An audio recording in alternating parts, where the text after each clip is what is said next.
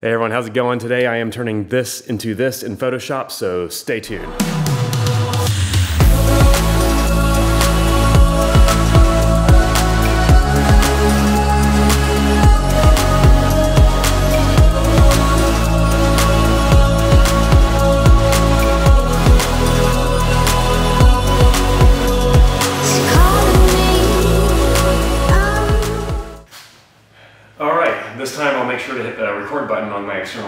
External so the audio doesn't sound like this. Instead, it sounds like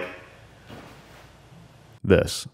How do I sound now? What's going on, everyone? Alexander, JawfoxPhotography.com. Hope everyone's doing all right. People have asked me why I do this. Well, it serves as my slate, my clapperboard, so to speak, so I can sync easily audio in post to my video.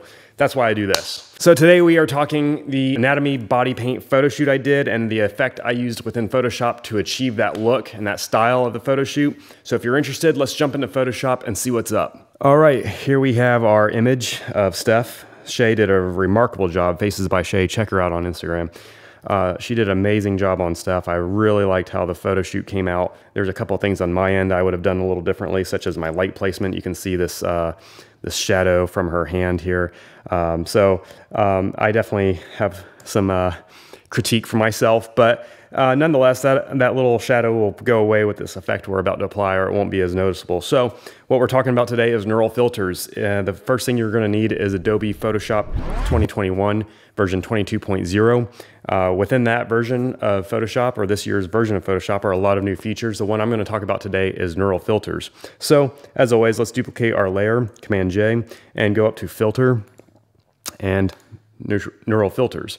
Now this is a new uh, plugin, AI plugin uh, that Adobe is using. It's still in the beta phase for a lot of the features such as skin smoothing and de-aging and all sorts of other features they have.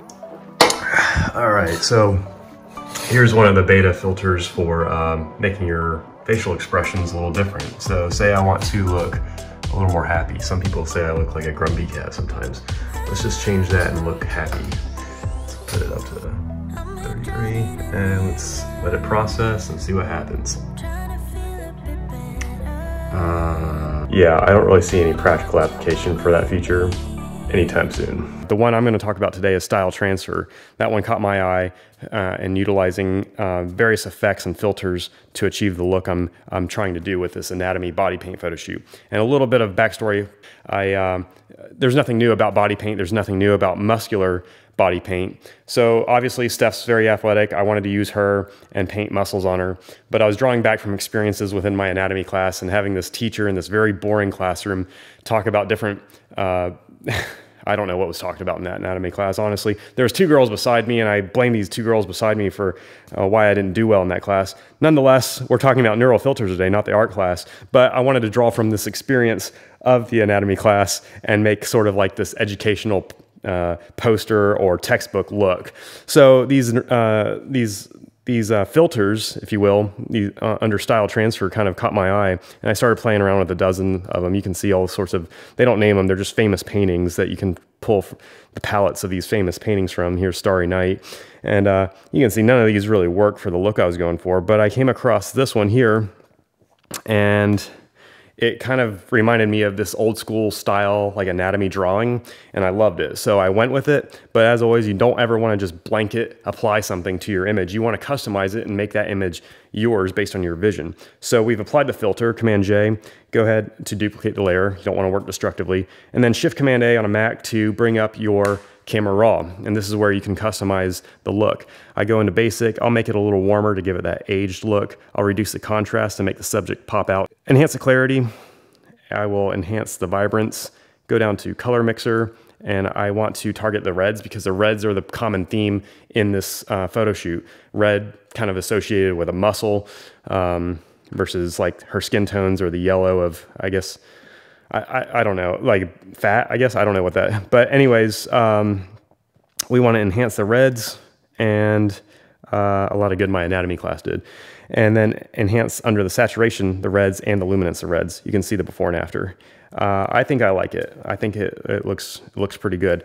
And there you have it. And that's just a basic overview of what you can do with those filters and how you can uh, use Camera Raw and uh, various other filters. Let's talk about curves really quick. Let's use a curves adjustment layer to further customize this, this layer.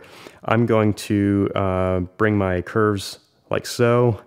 You can see what it's doing to the, the, um, the darker areas of the image. You're bringing them towards the lighter parts of the image, and that's further enhancing the image. And then let's just place a center point in our midtones and bring those up and it's kind of given more of an age. Let's, let's check it out before and after. I like it. It's adding a little more of a pop to the subject. Again, I've talked about this before. If your subject is blending into the background, chances are you're somewhere off in your editing or somewhere off in your exposure, your lighting, or your um, settings in camera. So always make sure your subject is standing out from the background. All right, and I'm liking that. Let's go ahead and hit Command F to uh, merge all those layers and I'll Command J again to duplicate the layer. Command, I like to, once I know I'm happy with something, I'll Command F it to flatten the image and make it look good. And, uh, or get it to where I can simply edit, I should say. And from there, I want to add uh, basically little diagrams or photos. I had this vision in my mind of like an old uh, diagram. So I go to stock photos or uh, public domain photos on Google. Another platform you could use is unsplash.com. They have hundreds and thousands of artists on there who contribute. I contribute as myself as uh, as an artist myself on that platform. Uh, stock photos that can be used for whatever project you have going on. So check out unsplash.com. I have a lot of photos up on there uh, from creative work. I don't put my clients or my paid work up there, but uh, yeah, check out unsplash.com. Now we can um, apply, so here was the original image.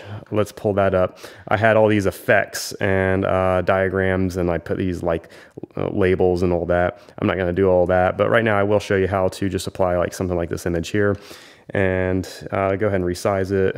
Let's do that and place it like so. And basically what you wanna do is use um, a variety of blend modes or layering masks to get it looking right. So we can go to, uh, let's go to, what's, what's looks good. Uh, that one looks good, darker color. And it, you can see the background has merged with that blend mode into the background that we're using. And I like it. Uh, last, let's go ahead and add like a rib cage or something. Again, I don't know why there would be a rib cage right there uh, in a muscular diagram. Uh, but you know, you get the idea. We're just we're just doing this for example here, and uh, I think it looks kind of cool. So um, you know, art doesn't have to make sense, right? That's, that's the beauty of art. Let's go down to, uh, let's see, darker color doesn't work for that one. I like, uh, oh yeah, overlay looks good. What do you think? Yeah, let's hit overlay and uh, let's this time use a mask to get rid of those harsh lines from the obvious fact that it's a photo that we put in there.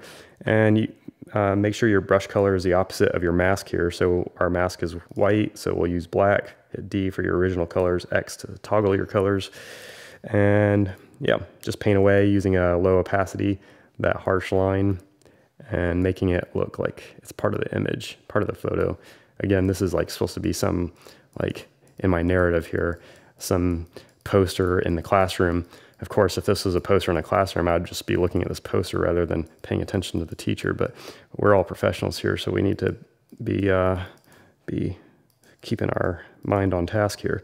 All right, and that looks cool. Um, something like that. And of course, I would blend it any further, maybe add some labels. That doesn't look the best, actually. Let me just use even a lower opacity to uh, over the whole. There we go. Something like that. And then I'd repeat that process, maybe add a couple other images, but you get the idea. So that is using neural filters within Photoshop to achieve a certain effect that you might be going for. Utilize it for your graphic art projects, for your photos, whatever the case may be. It's a cool, handy tool within Photoshop 2021. Make sure you get the latest version of Photoshop.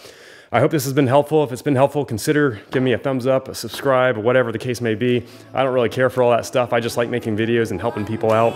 But uh, feel free to support if you like. Until next time, until next time, keep creating. I hope to uh, see you on Instagram. See you on YouTube. And I'll catch you in the next one. Take care.